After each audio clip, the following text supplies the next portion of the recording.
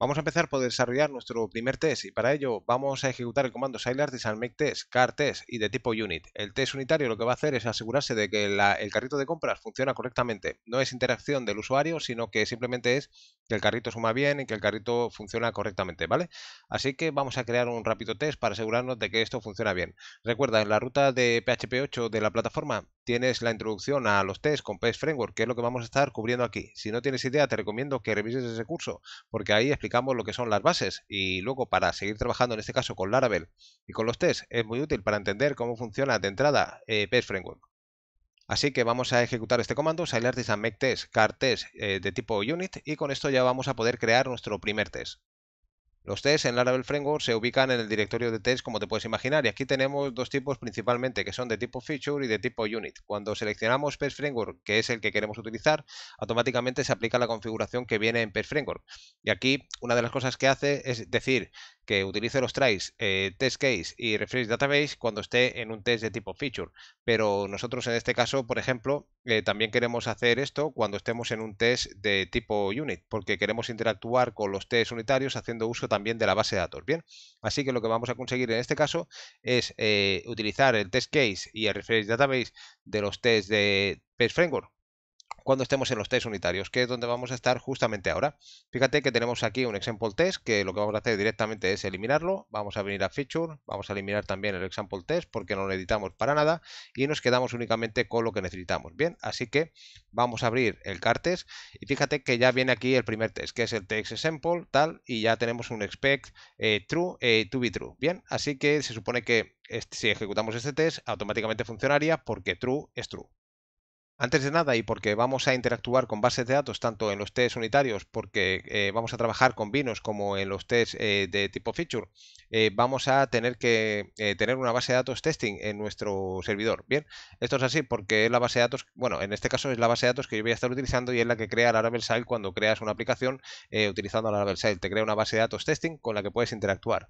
En este caso yo voy a utilizar esta de testing, pero si tú quieres utilizar otra, pues simplemente crea tu base de datos y utiliza la base de datos que quieras. Te recomiendo no utilizar la de pruebas porque si no te vas a cargar imágenes y demás cosas y es una pena con todo lo que ya tenemos hecho, ¿vale? Así que dicho esto, ten en cuenta que tienes que tener la base de datos creada y el acceso que vamos a configurar a partir de ahora con un archivo de entorno para testing.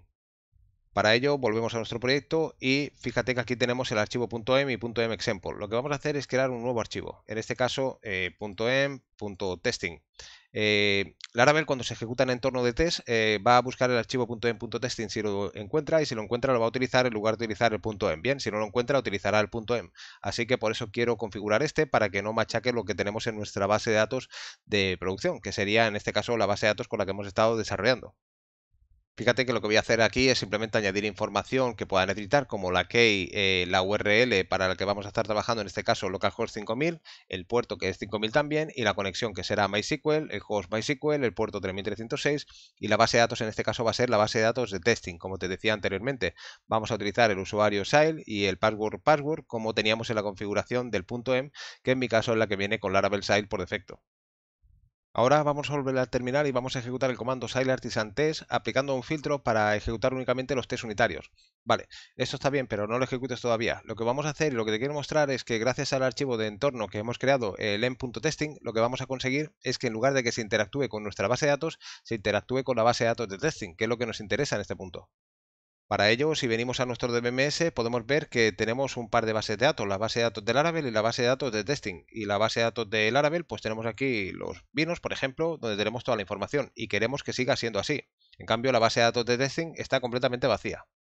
Si recordamos, en el archivo PS Framework dijimos que cuando estemos en Unit, que en este caso es en este directorio ejecutando cualquier test, queremos utilizar test case para poder interactuar con los tests y también refresh database. Bien, este de aquí realmente no sé si lo necesitaríamos, pero lo voy a utilizar igualmente.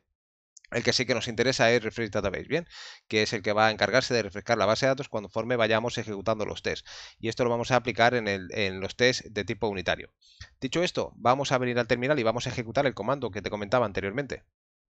Así que SileArtisan test con el filter unit y esto va a ejecutar los tests unitarios. Fíjate que nos dice que ha pasado un test que es el test example y que ha pasado y está en verde, así que parece que todo está bien. Si venimos a nuestro test, veremos que el example es este de aquí, así que parece que está bien. Vamos a ir a nuestro DBMS a ver qué ha sucedido. Y si vemos la tabla de wines de nuestra base de datos, fíjate que se ha respetado, no ha pasado nada. Y la base de datos de testing anteriormente estaba vacía. Si actualizamos, ahora aparecen todas las tablas, ¿vale? Así que ahora Laravel en entorno de test va a utilizar esta base de datos y va a respetar nuestra base de datos. De esta forma vamos a poder mantener la información que teníamos y vamos a estar trabajando en todo momento en esta base de datos para no eliminar los datos que teníamos de prueba. Así que con esto ya hemos hecho la configuración de nuestro entorno para utilizar un archivo de, entorno para testing, que es el .m.testing. Y hemos visto cómo decir que queremos utilizar determinadas cosas en los tests unitarios y también hemos visto cómo ejecutar los tests y asegurándonos de que nuestra base de datos de test es la que está funcionando en lugar de nuestra base de datos de desarrollo. Un saludo.